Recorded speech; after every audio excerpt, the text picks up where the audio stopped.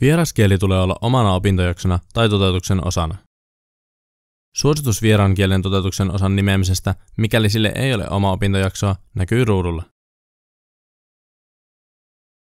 Toteutuksen arviointilehdessä hae arvioitava opintojakso ja valitse arviointi.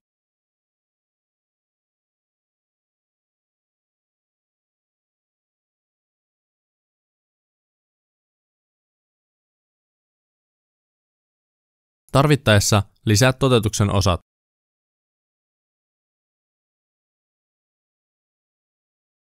Kun olet antanut arvosanat toteutuksen osille ja myös lopullisen arvosanan, valitse hiiren oikealla painikkeella opiskelijanumero ja avaa se uuteen välilehteen.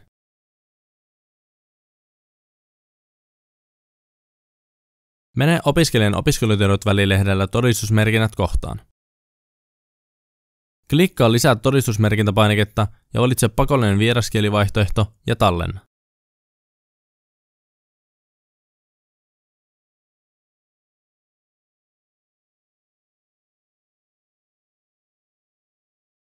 Voit lisätä ruotsin ja pakollisen vieraan kielen kielilausekkeet yhtä aikaa ruotsi ja muut kielet suoritettu kielilausekkeen kautta.